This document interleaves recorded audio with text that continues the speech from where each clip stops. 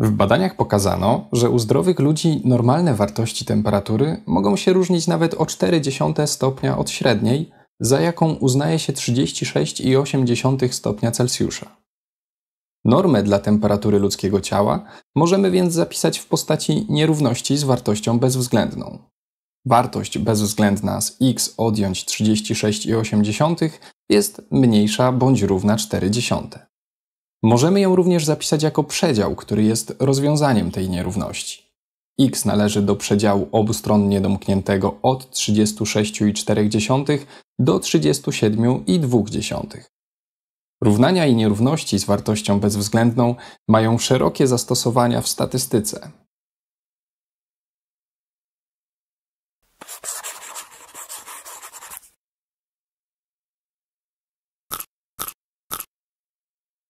Spróbujmy rozwiązać kilka nierówności z wartością bezwzględną metodą algebraiczną, korzystając z własności, które wyprowadziliśmy w poprzednim filmie. Rozpocznijmy od następującego przykładu.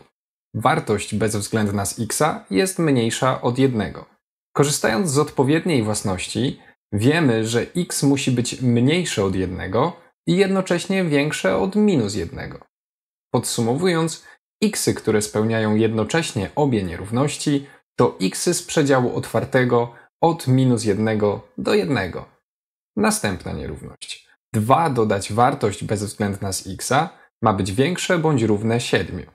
Na początku przekształćmy tę nierówność tak, aby po lewej stronie została nam tylko wartość bezwzględna z x. Odejmujemy dwójkę od obu stron nierówności i dostajemy, że wartość bezwzględna z x ma być większa bądź równa 5. Spróbuj samodzielnie dokończyć ten przykład. Korzystając z kolejnej własności otrzymujemy, że x mają być większe bądź równe 5 lub mniejsze bądź równe minus 5. Rozwiązaniem są wszystkie liczby mniejsze bądź równe minus 5 oraz większe bądź równe 5, czyli suma przedziałów prawostronnie domkniętego od minus nieskończoności do minus 5 oraz lewostronnie domkniętego od 5 do plus nieskończoności. Kolejna nierówność. Dla jakich xów wartość bezwzględna z x jest mniejsza bądź równa jednemu odjąć pierwiastek z dwóch? Spróbujmy zastosować te własności wartości bezwzględnych, które już znamy. Otrzymujemy, że x musi być mniejszy bądź równy jednemu odjąć pierwiastek z dwóch i większy bądź równy minus w nawiasie jednemu odjąć pierwiastek z dwóch. Drugą nierówność możemy zapisać inaczej. x większe bądź równe pierwiastkowi z dwóch odjąć 1. Co zatem jest rozwiązaniem tej nierówności? Intuicyjnie wydaje się, że przedział obustronnie domknięty od pierwiastka z 2 odjąć 1 do 1 odjąć pierwiastek z 2. Ale czy taki przedział istnieje? Pierwiastek z 2 to około 1,41. Po przybliżeniu krańców przedziału możemy zapisać ten przedział jako przedział domknięty obustronnie od 41 do minus 41. Ten przedział to po prostu zbiór pusty. Nierówność ta więc nie posiada rozwiązań. Zobaczmy, dlaczego tak się stało. Zauważ, że wartość 1 odjąć pierwiastek z 2, czyli w przybliżeniu minus 41 setnych, jest ujemna.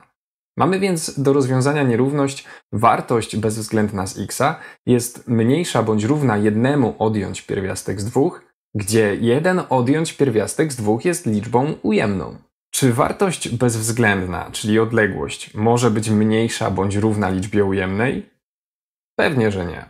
Stąd od razu mogliśmy zauważyć, że ta nierówność nie posiada rozwiązań. Przypominam, że własność, którą przed chwilą wykorzystaliśmy, jest prawdziwa dla a większego od zera. Więc zanim zaczniemy rozwiązywać nierówność z wartością bezwzględną, należy sprawdzić, czy a jest na pewno dodatnie. Rozwiąż samodzielnie kolejny przykład. Dwa pierwiastki z dwóch odjąć wartość bezwzględna z x jest mniejsza od 4. Nierówność taką traktujemy jako nierówność, w której niewiadomą nie jest x, a wartość bezwzględna z x. Wyznaczamy ją z nierówności, wykonując kilka prostych przekształceń. Odejmujemy od obu stron nierówności dwa pierwiastki z dwóch i otrzymujemy minus wartość bezwzględna z x jest mniejsza od 4 minus 2 pierwiastki z 2. Następnie mnożymy obie strony nierówności przez minus 1 i dostajemy, że wartość bezwzględna z x ma być większa, pamiętaj o zmianie znaku, od minus w nawiasie 4 minus 2 pierwiastki z 2. Pozbywamy się nawiasu i mamy nierówność. Wartość bezwzględna z x jest większa od dwóch pierwiastków z 2, odjąć 4. Przypatrz się nierówności, którą otrzymaliśmy po naszych przekształceniach. Wartość bezwzględna z x jest większa od dwóch pierwiastków z 2 odjąć 4. Co mógłbyś powiedzieć o liczbie, która występuje po prawej stronie nierówności? Pierwiastek z 2 to w przybliżeniu około 1,41. Dwa pierwiastki z 2 to będzie około 2,82. Czyli dwa pierwiastki z 2 odjąć 4 w przybliżeniu ma wartość 2,82 odjąć 4, czyli minus 1,18. Liczba występująca po prawej stronie nierówności jest liczbą ujemną. Szukamy więc takich xów, których odległość od zera jest większa od liczby ujemnej, a przecież każda odległość jest większa od liczby ujemnej. Zatem każda z liczb rzeczywistych jest rozwiązaniem tej nierówności. Zawsze warto sprawdzić znak liczby, którą mamy po prawej stronie nierówności z wartością bezwzględną. Dzięki temu zaoszczędzimy czas i zapobiegniemy ewentualnej pomyłce w rozwiązaniu. Spróbuj rozwiązać jeszcze jedną nierówność. Wartość bezwzględna z x jest mniejsza od pierwiastka trzeciego stopnia z 9 odjąć 2. Zauważmy na początku, że pierwiastek trzeciego stopnia z 9 odjąć 2 to inaczej pierwiastek trzeciego stopnia z 9 odjąć pierwiastek trzeciego stopnia z 8. Od większej liczby odejmujemy mniejszą, więc jest to na pewno liczba dodatnia. Możemy pewnie stosować poznane własności. Xy są mniejsze od pierwiastka trzeciego stopnia z 9 odjąć 2 i jednocześnie większe od minus w nawiasie pierwiastka trzeciego stopnia z 9 odjąć 2. Inaczej x większe od 2 odjąć pierwiastek trzeciego stopnia z 9. Otrzymujemy zatem przedział obustronnie otwarty od 2 minus pierwiastek trzeciego stopnia z 9 do pierwiastka trzeciego stopnia z 9 odjąć 2. Prawy kraniec przedziału to liczba dodatnia. Lewy to jako liczba przeciwna do dodatniej liczba ujemna. Przedział jest zatem poprawnie wyznaczony i jest rozwiązaniem naszej nierówności. Rozwiążmy teraz bardziej skomplikowane nierówności. Wartość bezwzględna z x odjąć 3 jest mniejsza od 4.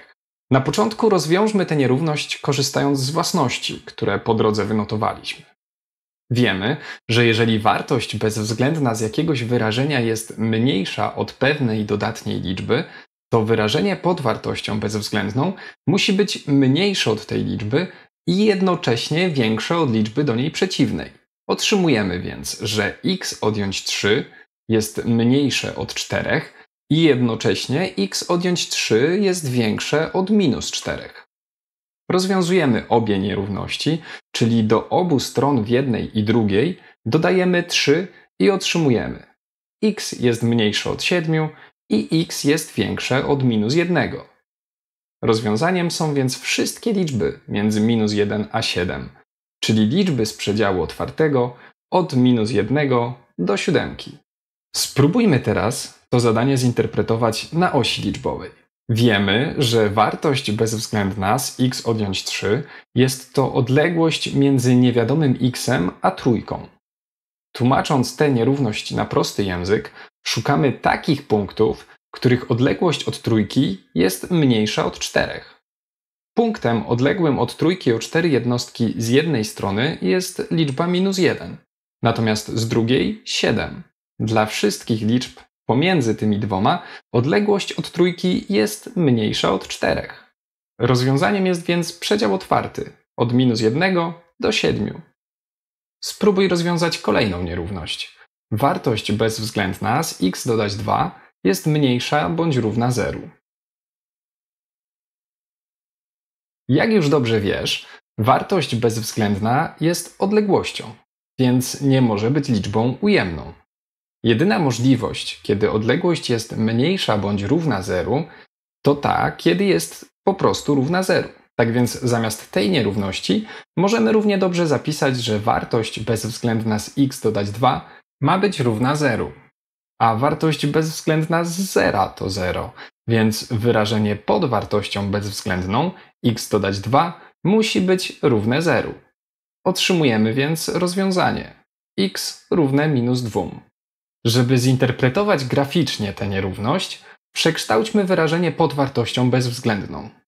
W ten sposób będziesz mógł łatwo zauważyć, między jakimi liczbami odległość ma być mniejsza bądź równa 0.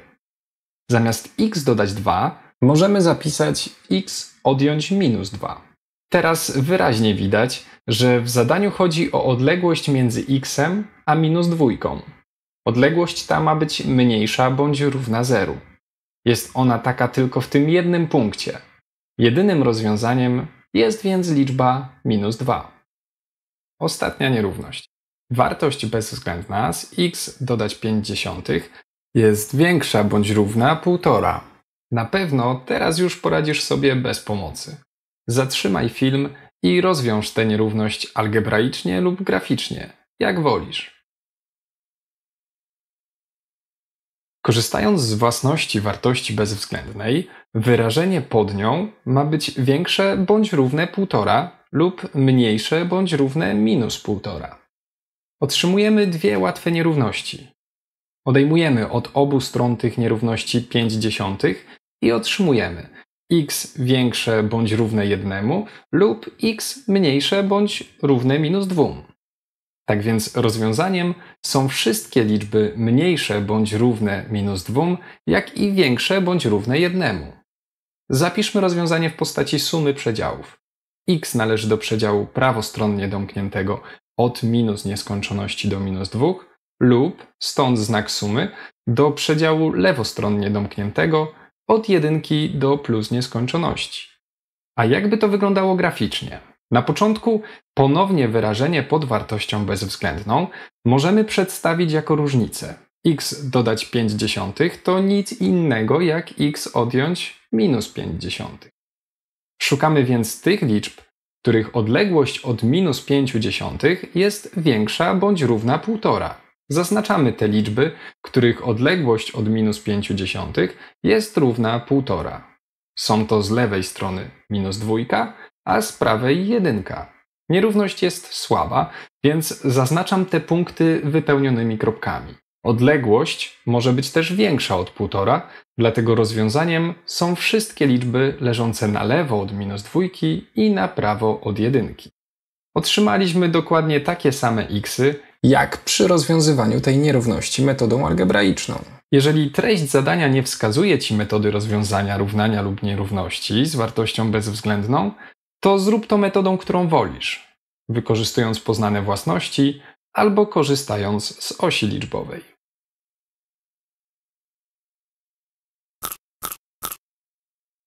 Jeżeli chcesz rozwiązać prostą nierówność z wartością bezwzględną, zerknij na liczbę, którą z nią porównujesz. Jeżeli jest to liczba mniejsza bądź równa zeru, sprawa staje się prosta. Jeżeli jest to liczba większa od zera, skorzystaj z własności wartości bezwzględnej albo z jej geometrycznej interpretacji. Jeżeli wydaje Ci się, że z nami matematyka jest łatwiejsza, subskrybuj nasz kanał na YouTube.